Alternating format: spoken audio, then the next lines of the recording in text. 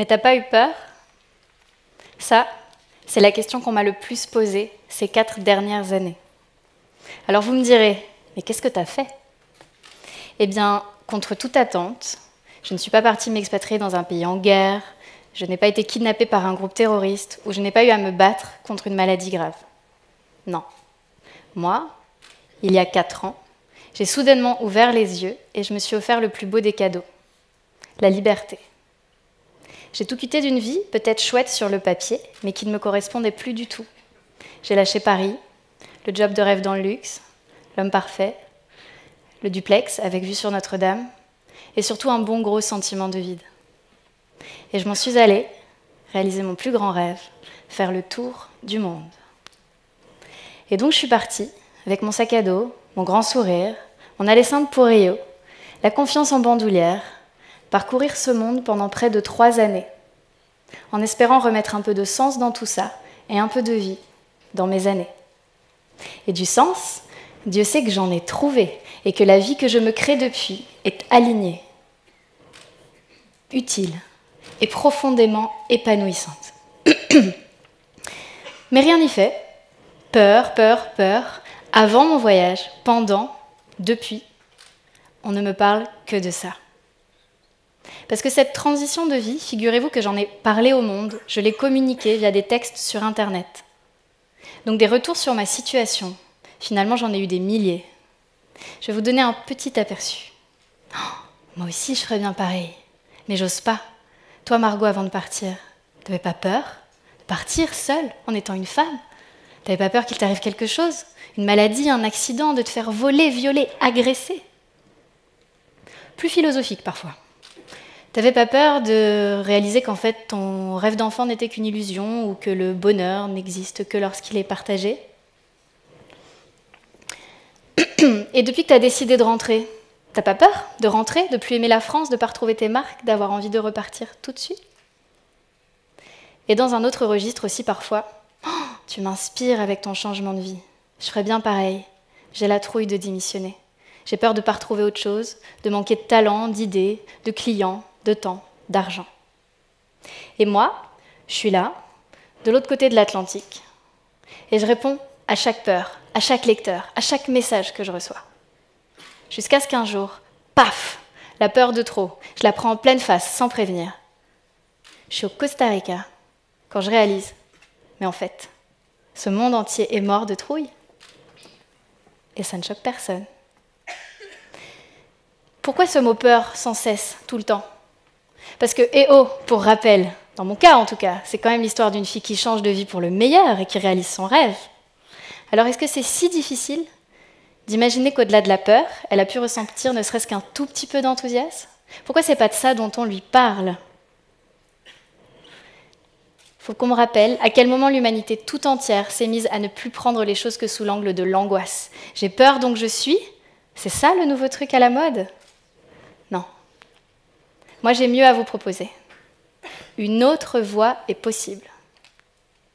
Laissez-moi vous embarquer dans l'un des plus beaux enseignements de ce fameux grand voyage. Vous êtes prêts? C'est parti. Alors, déjà, j'aimerais qu'on comprenne ensemble maintenant quelque chose de très important. La peur, notre peur, a un coût.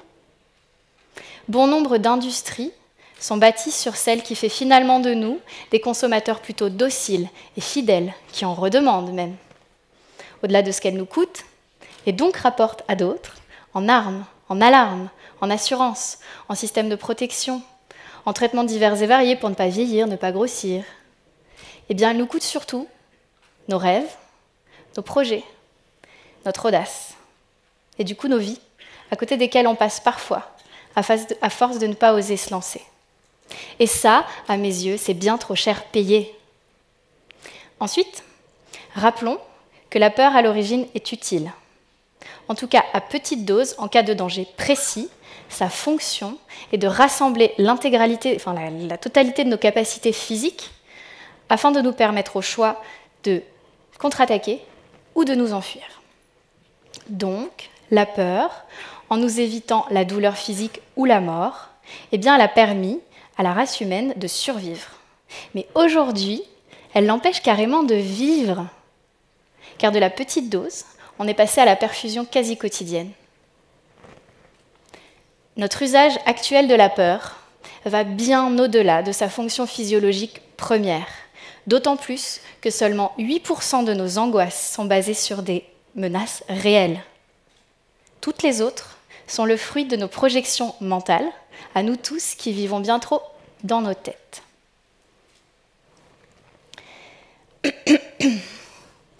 Alors, regardez plutôt. Tu pars? Oh, Waouh, mais t'as pas peur? Tu rentres? Mais t'as pas peur? Ah, et tu te réinstalles en Europe Et t'as pas peur? Vous voyez bien que la peur n'est pas dans la situation observée, mais bien dans l'esprit de celui qui l'observe. Aujourd'hui, et c'est bien dommage, on dégaine l'angoisse comme premier réflexe. C'est normal en même temps, on nous y conditionne chaque jour. Mais nous pouvons aller contre ce conditionnement, nous pouvons désapprendre ce que nous avons appris. Oui, appris, vous m'avez bien entendu, car elle nous est devenue tellement naturelle, cette peur, qu'on oublie qu'elle n'a pas toujours été présente. Le bébé ne naît qu'avec deux peurs, celle de tomber ou des bruits trop forts. Toutes les autres sont des réactions acquises par l'enfant au cours de ses premières années de vie, ou développées plus tard par l'adulte. Il faut comprendre qu'en fait, on apprend à craindre ces choses que nos parents, notre culture, notre société craignent. Que l'on en ait une expérience directe ou non d'ailleurs. Je vous donne un exemple. Moi, j'avais peur des migales bien avant d'en croiser une. Alors je ne vous dis pas ma surprise quand, lorsque, pendant mes deux mois en Amazonie, j'ai découvert que les enfants, même tout tout petits, les adoraient et jouaient avec. Vous voyez, je crois que c'est là-bas, au cœur de cette forêt la plus dense du monde, que j'ai commencé à questionner mon rapport à la peur. Et je sais que c'est là-bas aussi, sur les routes de cette Amérique latine que j'ai parcourue en long, en large et en travers, que j'ai commencé à découvrir et à pratiquer l'autre voie. Car justement, des voies, il n'y en a que deux. La peur et l'amour. Enfin, je devrais plutôt dire la peur ou l'amour. Car justement, c'est l'une ou l'autre. Et le comprendre, ça a changé ma vie. Je vous explique. Vous l'aurez peut-être compris, à ce stade, mon voyage a été plus initiatique que touristique. Et donc, mes expériences spirituelles, mes rencontres, mes échanges à cœur ouvert, mes lectures aussi, m'ont amené à comprendre, mais encore plus en fait à ressentir à quel point au sein de l'être humain il n'y a que deux élans, deux impulsions, deux émotions racines finalement, la peur ou l'amour. Et donc, si l'on décortique chaque euh, parole ou comportement d'un être humain, finalement à sa source, qu'est-ce que l'on trouve? Soit un élan de peur, une fermeture, une méfiance, soit un élan d'amour, de confiance, une ouverture finalement. Et si j'insiste autant sur le mot ou à chaque fois, c'est pour une bonne raison. Peur et amour sont les deux extrémités d'une même réalité. Un peu comme le chaud et le froid, le jour et la nuit, qui ne sont pas si opposés ou si différents que l'on a tendance à le croire. Acceptez de changer quelques instants avec moi de perspective. Et si le chaud et le froid, et l'ombre et la lumière n'étaient finalement pas opposés S'ils étaient la même réalité, donc dans un cas la température, dans l'autre la lumière, simplement expérimentée à des intensités différentes. D'accord? Et si donc le froid n'était que l'absence de chaleur, et l'ombre, l'absence de lumière? En fait, en présence de l'un, on ne peut pas expérimenter l'autre. Peur, amour, chaud-froid, jour-nuit sont en fait comme les deux, mêmes faces d'une même, les deux faces d'une même médaille. On expérimente donc l'une ou l'autre, mais on ne peut jamais observer les deux en même temps. Euh, la peur, vous m'avez suivi La peur est donc à l'amour ce que le froid est au chaud et ce que l'ombre est à la lumière, son absence. La peur est l'absence d'amour. Ce qui veut dire par définition qu'à chaque fois qu'on choisit la peur, eh bien on ne choisit pas l'amour. Et moi, ça, ça m'alerte, vu la place toujours plus grande que la peur prend dans nos vies et dans nos sociétés. En revanche, ce qui me rassure, c'est que j'ai vraiment compris à quel point l'être humain pouvait choisir son expérience. C'est-à-dire qu'on peut consciemment décider d'observer une même situation sous un angle ou sous un autre. Et comment on fait ça? Eh bien, c'est très très simple. On se pose une question qui tient en trois mots. Que ferait l'amour? Ça a peut-être l'air de rien comme ça, mais il y a un avant et un après cette question dans ma vie. Cette question, c'est Marianne Williamson qui me l'a offerte au détour d'une page de son ouvrage de référence.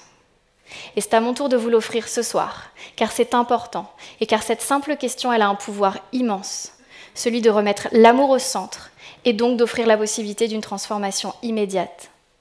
Votre expérience, votre perception d'une personne ou d'une situation change en un instant. Regardez, on va pratiquer ensemble. Que ferait l'amour à ma place, là, dans cette situation. Je vais reformuler parce que je pense que c'est plus parlant. Que ferait l'absence de peur à ma place, là, dans cette situation. Qu'est-ce que moi, Margot, je penserais Qu'est-ce que je dirais qu'est-ce que je ferais là si je n'avais pas peur D'être ridicule, d'être jugée, d'être rejetée, d'être moqué, de rater, de perdre, de mourir. Posez-vous bien cette simple question. Écoutez la réponse. Et ensuite, pensez ça. Dites ça. Toujours plus de ça. Vous verrez que là où la peur vous incite à la timidité, à l'immobilisme, à la lâcheté, à la colère, à l'égoïsme, à la violence, à la condamnation, au jugement, à la, guerre, finalement, eh bien votre cœur, lui, vous incitera toujours à la confiance, à l'indulgence, à la bienveillance, à la compassion, au don, au parti pris de ne pas juger, au partage, à l'intimité, à la générosité, à la paix.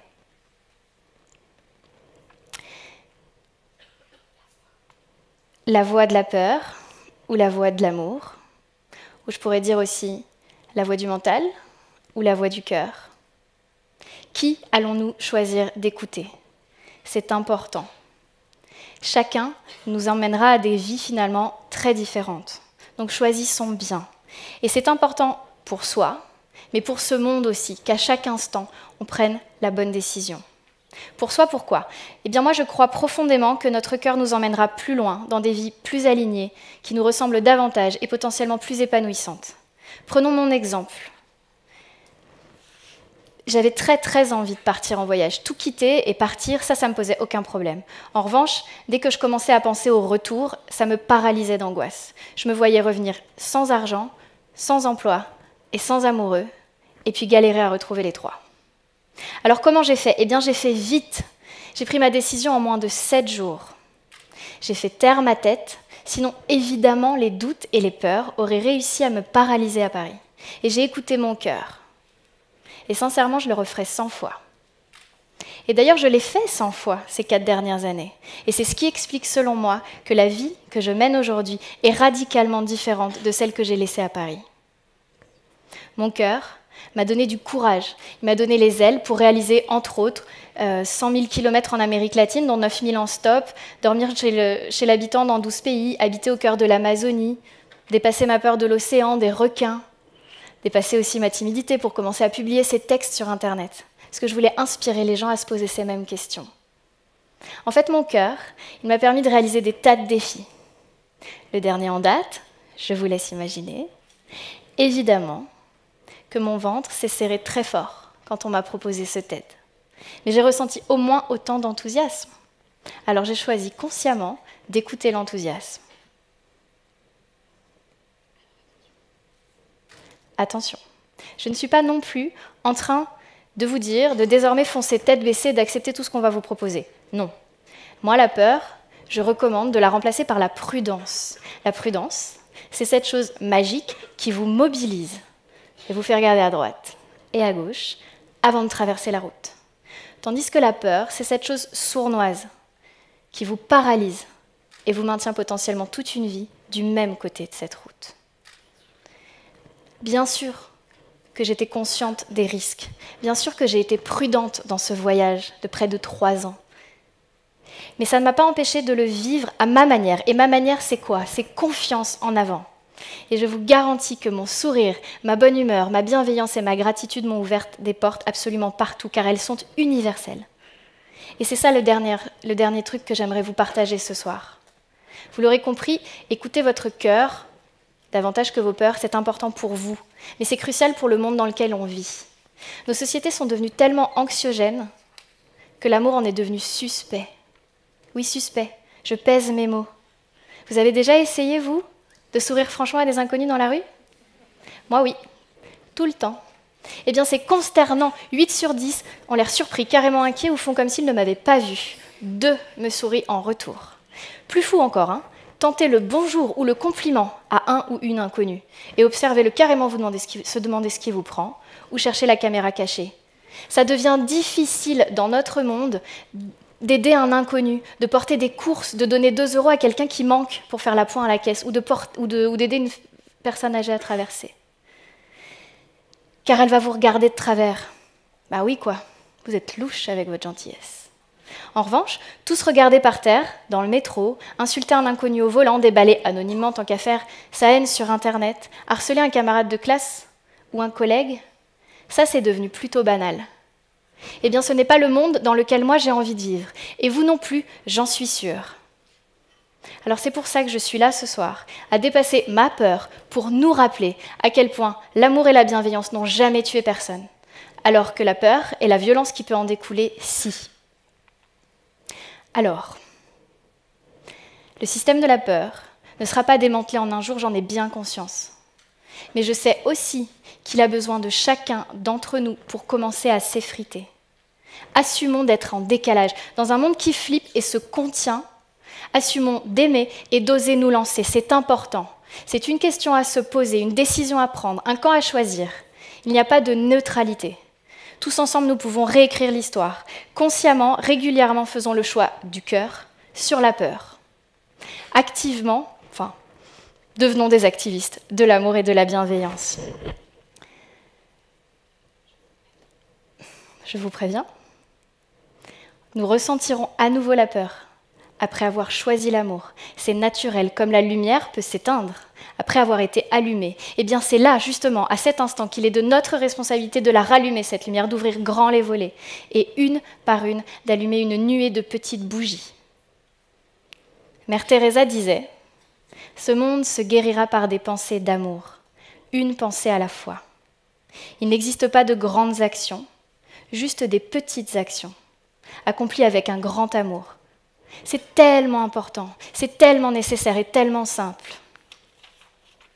Alors vous me direz, il va donc falloir que l'on s'aime pour s'en sortir? Oui, mais ne vous inquiétez pas, comme le disait Romain Gary, n'ayez pas peur du bonheur, c'est qu'un bon moment à passer.